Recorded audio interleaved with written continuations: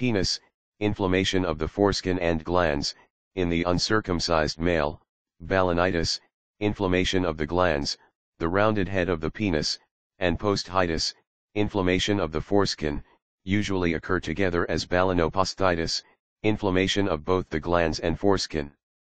Circumcision prevents balanoposthitis. Without a foreskin, there can of course be no posthitis and hence no balanoposthitis.